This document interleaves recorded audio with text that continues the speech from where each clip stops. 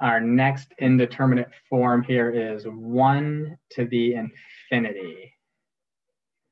So 1 to the infinity um, is indeterminate. And oh, I got something else coming in here now. Um, 1 to the infinity is an indeterminate form.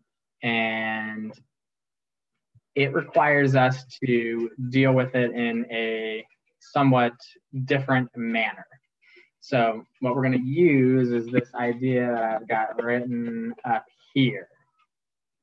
Is we're going to basically pull that infinity out of the exponent by using a logarithm. So if we were to try to find the limit as x went to infinity of the natural log of this function, so the natural log of some function, and we were able to find a limit for that, right? We get some value. Well, then that should tell us that our original limit, right, this one without the natural log in front of it, should be the same as e to this power of L that we found doing the different limit, the limit of the logarithm, right? Because e to the natural log of a function is just that function. So this limit, the limit as x approaches a of e to the natural log of f of x should be equal to the limit as x approaches a of f of x. And so once we find this one, all we have to do is put it as a power of e. We have to exponentiate it. That should give us our limit of our original function. Does that make sense? Or no?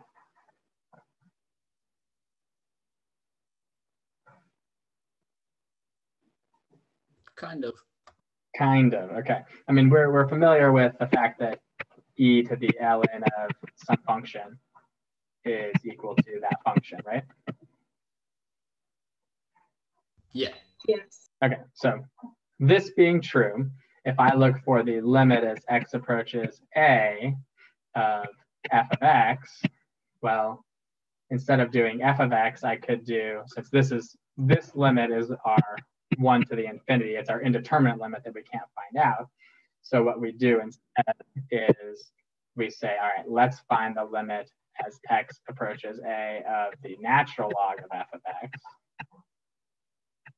And once we find this limit, right, this limit, if I put in e to that power of that limit, it should be equal to the limit of our original function, just because of the fact that e to the natural log of something just cancels out the e in the natural log. Does that help or no? Yeah. Okay. All right, so let's give this a try. So first off, what should we do? We should take the infinity and plug it in and see what we get. So if I take the infinity and plug it in, one plus one over infinity is one plus zero, right? So this becomes one to the infinity. So in order to find this limit, we are instead going to look at the limit as x approaches infinity of the natural log of 1 plus 1 over x to the x. And so what does that allow us to do?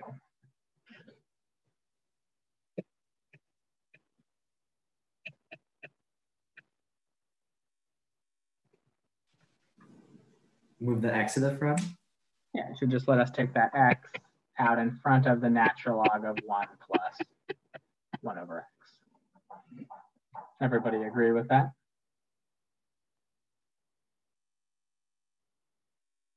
I hope.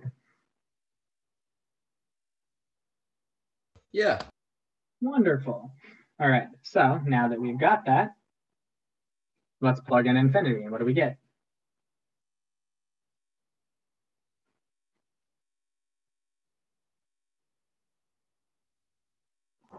Infinity times zero.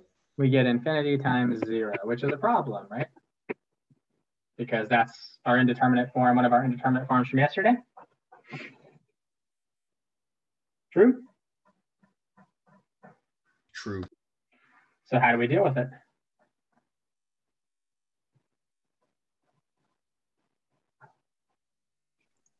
Natural log of 1 plus 1 over x over 1 over x. Okay, so let's rewrite this as the limit as x approaches infinity of the natural log of 1 plus 1 over x over 1 over x, which is now what? Now this is 0 over 0. Everybody agree with that? Yes. Oh, good, which is a much better indeterminate form for us, right? Because what can we do with that indeterminate form? We can L'Hopital. use L'Hopital's rule line. So we will, using L'Hopital's rule, which you'll remember to write out, turn this into the limit as x approaches infinity of the derivative of natural log of 1 plus 1 over x. So derivative of natural log of u is 1 over 1 plus 1 over x. And then times the derivative of 1 plus 1 over x, which is what?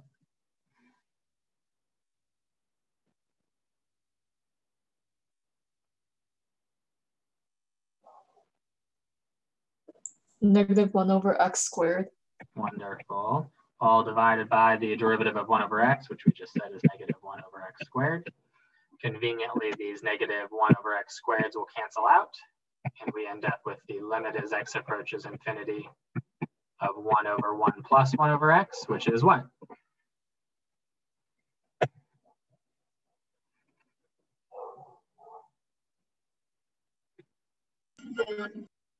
And just 1, right? And so that's our answer? Yes. No, that's not our answer. What? Say that again. I, I yelled over you because I think it was Noah was yelling. Don't you have to do e to the one?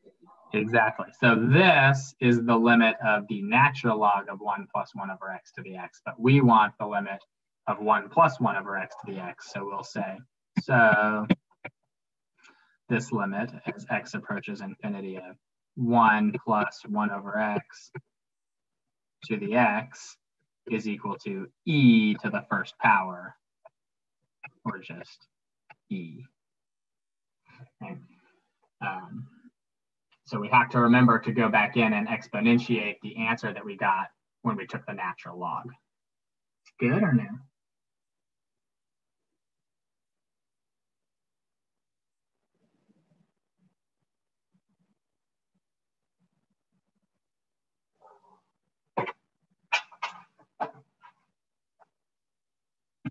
This one becomes that power there. Everybody's good with that? Good. All right, let's look at another indeterminate form. Zero to the zero. So zero to the zero is also indeterminate, and that's exactly what we've got here. If we're looking at the limit as x approaches zero from the right of x to the x, right? And this one should be, you know, should be pretty obvious why this is indeterminate, right? Zero to any power is always zero but anything to the power of zero is always one. And so now we've got a little bit of a contradiction there between those two things, right? Zero to the zero could be zero, one, or something else. Um, so let's take a look then. Um, what do you think we should do with this one?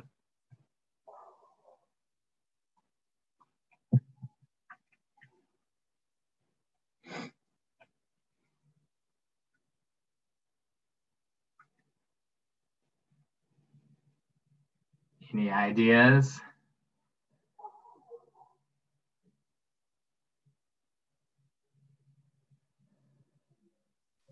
I feel like it's a logarithm is You somehow feel like it's a logarithm. Yes. Your your feeling is right. It's a logarithm. We're just going to use the same method that we used for the last one.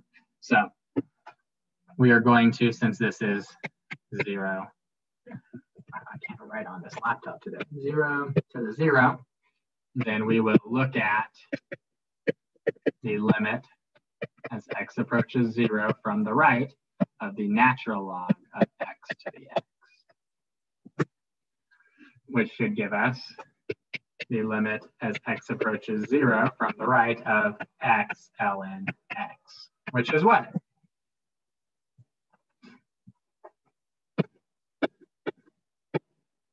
zero times what's the limit is, or what's the natural log of zero from the right-hand side? Negative. The infinity. Negative infinity. So zero times an infinity, which is indeterminate. So what do we have to do with it?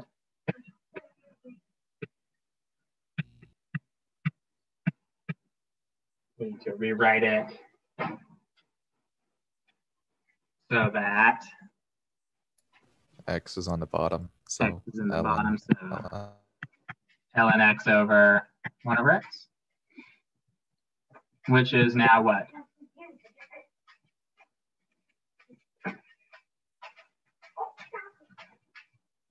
Negative infinity over over a positive infinity, which is indeterminate, right? Which means what can we use? L'Hopital's rule, giving us the limit as x approaches zero from the right. What's the derivative of natural log of x?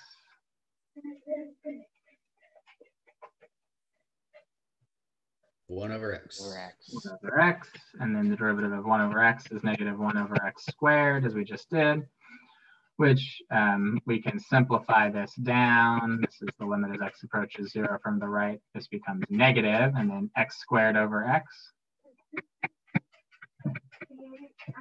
which is the limit as x approaches 0 from the right of negative x, which is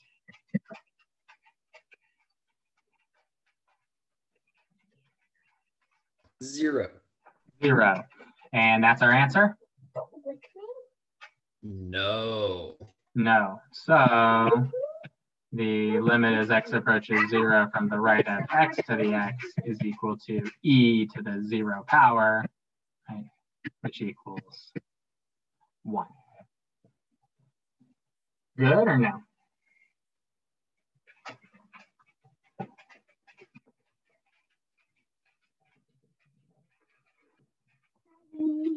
All right, let's look at another indeterminate form.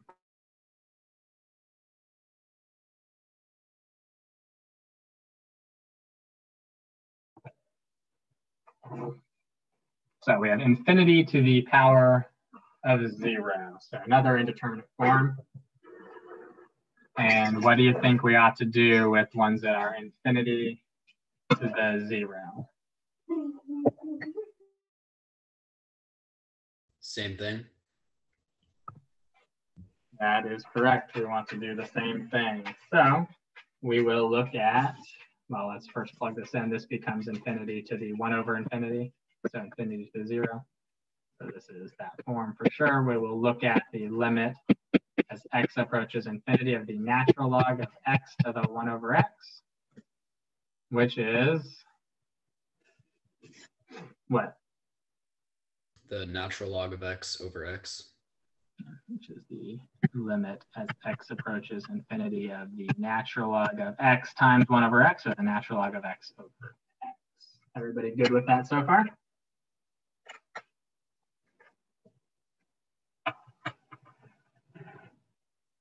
Yeah. Or no? Yeah, everyone's good there? Okay, and so what do we get if we plug that in? Infinity over infinity. Okay, so we end up with infinity over infinity, which means we need to use L'Hopital's. L'Hopital's rule. I should write that, L'Hopital's rule. Limit as x approaches infinity of derivative of the natural log is 1 over x. Derivative of x is just 1, which gives us 1 over infinity, which is Zero. 0. And so our answer is One. 1. The limit as x approaches infinity of x to the 1 over x equals e to the 0, which is 1. Everybody good with that? Any questions there? This might be silly, but why is infinity to the zero indeterminate? Because if infinity represents some large unattainable number, but everything to the power of zero is one. Yeah, everything to the power of 0 is 1. That's true, but not necessarily infinity because remember, this is a it's not just this infinity to the zero, but this it's this limit that we're talking about. So is the base of this thing getting so large so quickly that raising it to a power that is very, very small and very, very close to zero still going to make it be exceptionally large over time, or is it going to drive it down towards something that is one over time? So it, it depends on how quickly we are approaching infinity and how quickly we are approaching zero. Um, Oh, because okay. on one end, you know, infinity to any power should just be getting very large, right? But some number to zero should be getting very small. So it's there's the All right, thank you. Does that make sense? Yeah. Okay. All right, so I will give you guys a minute here to try and work through this one on your own. Plug it in, make sure you see which indeterminate form it is first, and then see if you can evaluate this limit. So I'll give you two or three minutes to do this. Sound good? Cool. All right, ready to go. So when we first plugged in the zero, what did we end up with here? Infinity to the zero. infinity to the zero. So we had to look at instead a limit as x approaches zero of one over x squared to the x natural log of that. And we pull the x out into the front, which gives us the limit as x approaches zero of x ln one over x squared. And what did that become if you plug in zero into that? That became zero times what? Infinity. and negative infinity technically, but yeah, which is another indeterminate form. So we wrote this as the limit as x approaches zero of, I'm guessing your natural log of one over x squared over one over x.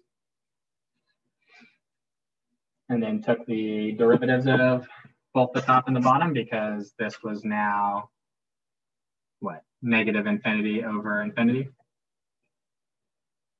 was an infinity over infinity, right?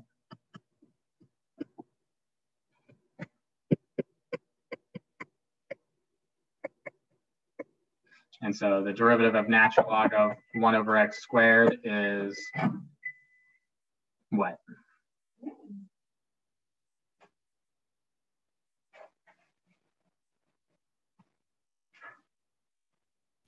Negative 2 over x cubed over 1 over x squared.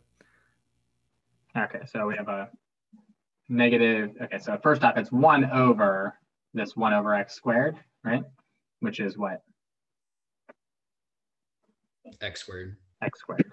And then, then we have the derivative of the one over x squared, which is negative two over x cubed, okay? Good, and then over here, we've got, what does that become? Negative one over x squared. Negative one over x squared. And so if we, hold on one second, sorry.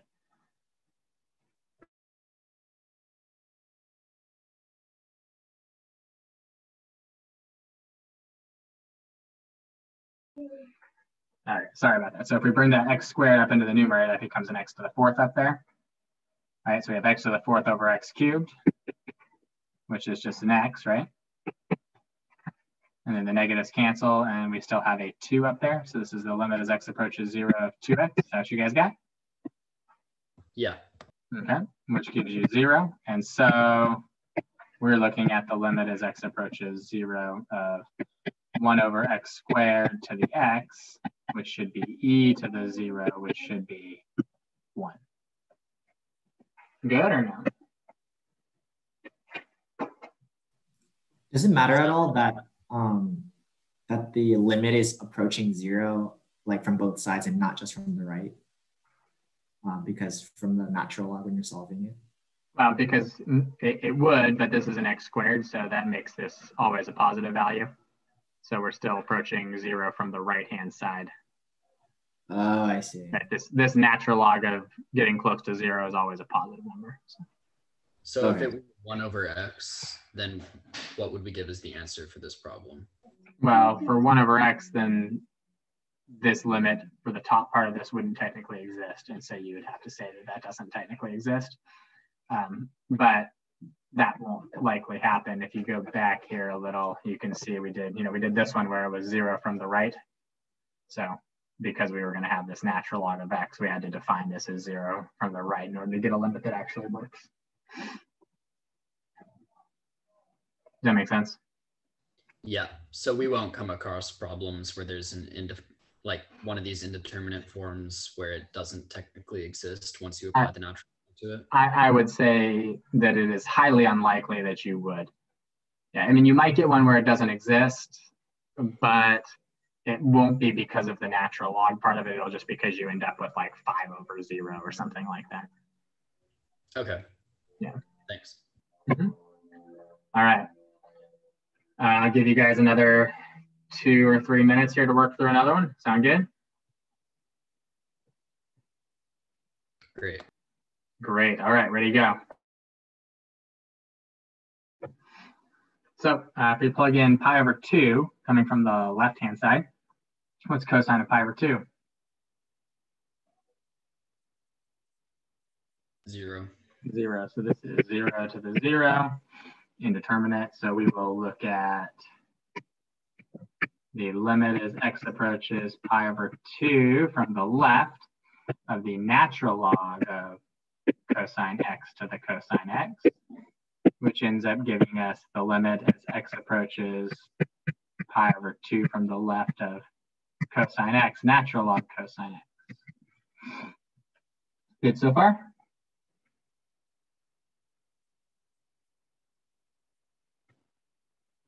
Yes. Cool. All right, so now when we plug this in, this becomes what? Zero times negative infinity. And so now you can see why this needed to be pi over 2 from the left, right? Because if we approach pi over 2 from the left-hand side, those are getting closer to 0 from the positive part, right? Those are positive, very small numbers getting close to 0. So this is the natural log of 0 from the right, which makes it negative infinity. So this becomes that other indeterminate form. And what should we do then? Drop the cosine into the denominator?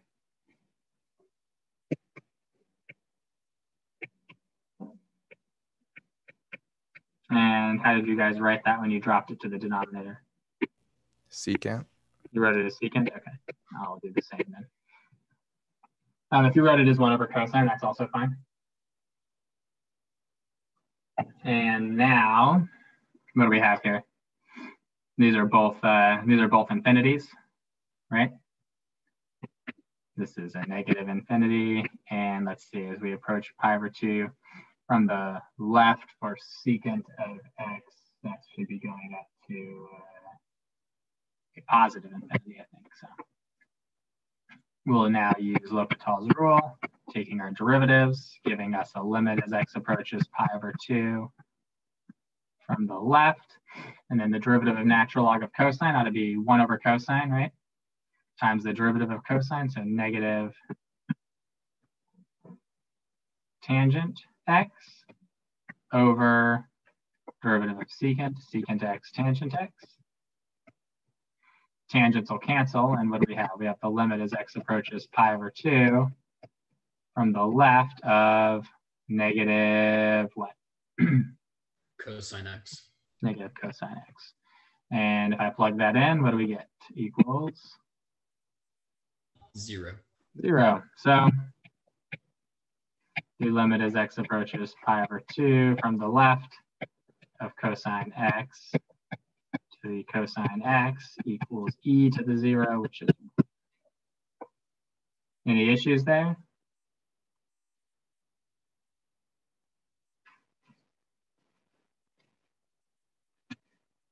No? Wait, sorry. Can you quickly explain the thing about uh, um why we had to approach pi over two from the left and why we can't approach it from the right? Yeah, so if this was pi over 2 from the right-hand side, um, think about, you know, think about your cosine function. That's just, you know, here's pi over 2 where it crosses the x-axis. If I'm approaching pi over 2 from the right-hand side, what can you tell me about all of the y values? Oh, they're all negative. Okay, yeah. They're all negative, right? And so then I have natural log of negatives, which doesn't work. Good? Yeah, thank you. Yep. All right, what about this one? This is actually a nice, uh, easy one, easier one. What do we get? Natural log of what? Yeah, natural log of infinity, which is infinity over infinity. So this one's already in one of our regular forms. So this is just a regular L'Hopital's rule one. How do we do this?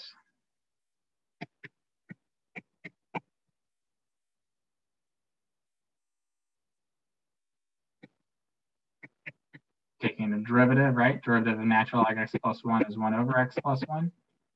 And then derivative of log base two of x is what?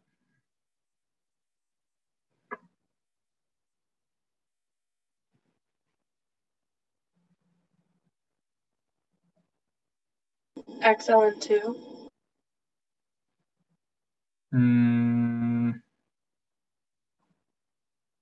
hopefully one over x ln two.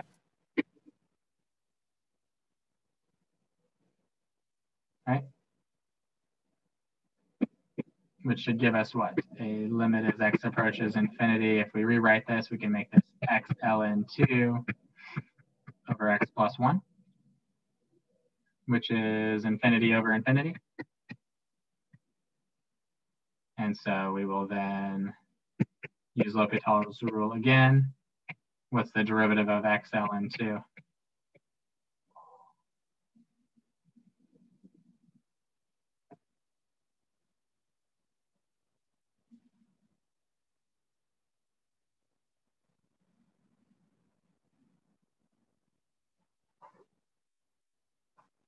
What- What's the derivative of x ln 2? ln2. ln 2, right? ln 2 is just a constant. What's the derivative of x plus 1? Just 1. So we get ln 2. Is that our final answer? Nuh-uh. It's not? I think it is. It is. I didn't take a natural log this time, right? That's just a regular L'Hopital's rule problem. So don't get all caught up in re-exponentiating things if you didn't take a natural log. All right. You guys want to do another one? All right, do another one.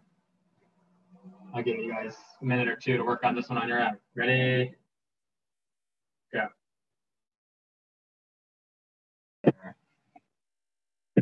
One to the negative infinity. Is it negative infinity? I guess yeah, one to the negative infinity, but still one to any infinity, right? Um, it's going to be an indeterminate.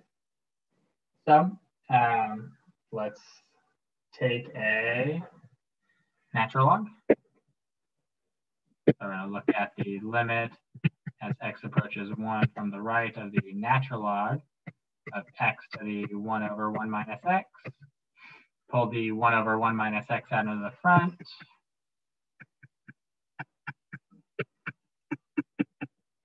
And you have a natural log of x inside there.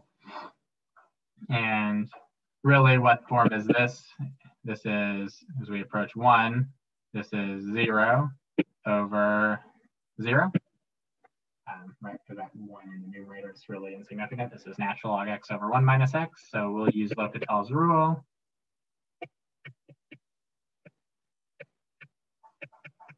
And what's the derivative of natural log of x? It's 1 over x, and the derivative of 1 over 1 minus x, or sorry, the derivative of just 1 minus x, right? Because that 1 minus x is in the denominator, it's just a negative 1. And what do we end up with? Negative one. Negative 1. And is that our final answer? No. We get e to the negative 1 or 1 over e. Good or no? Feel like we got the hang of these? You guys doing all right with them? Getting them all right when you do them on your own? Yeah. All right, cool. Um, last one we're gonna do today and we'll be done. What is the indeterminate form here?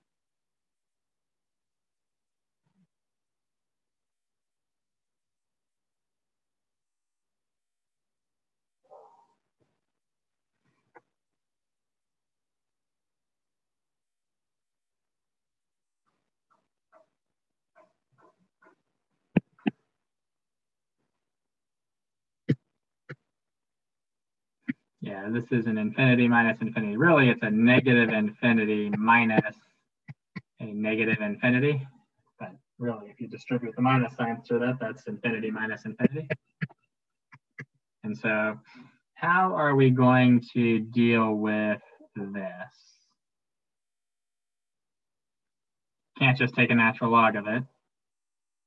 The last time we had infinity minus infinity, we got a common denominator, but there's no no denominators. Yeah, so good. Ryan, we're going to use log rules. So what's the log rule for this? We can convert this into a limit as x approaches zero from the right of what? Natural log of x over sine x.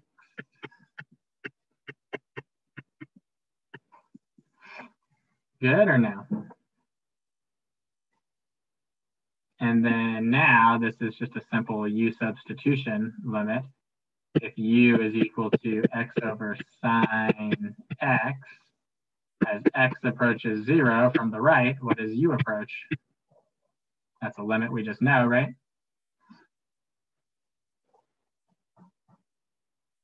One. One.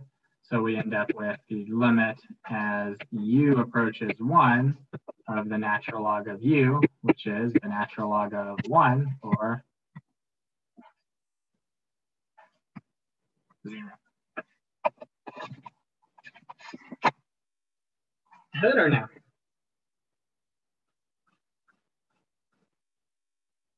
Yeah, good. All right. That is all of the new indeterminate forms that we need to worry about for this class. Um, and we're not really doing anything different with L'Hopital's rule. We're just doing some other stuff to convert them into a form that we can use L'Hopital's rule with. Um, so it's not really an addition to L'Hopital's rule, it's just some workarounds to find some new limits.